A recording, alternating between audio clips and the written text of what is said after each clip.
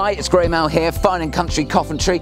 Coming soon, right in the heart of Austrey on the main road, is this elevated three double bedroom detached character cottage.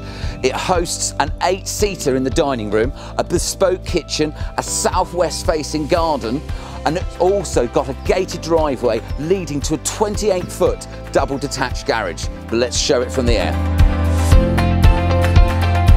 If you'd like to know more before this property hits the portals and social media, please do not hesitate to reach out to the details that follow. And as always, keep kind, keep safe, and thanks ever so much for staying tuned.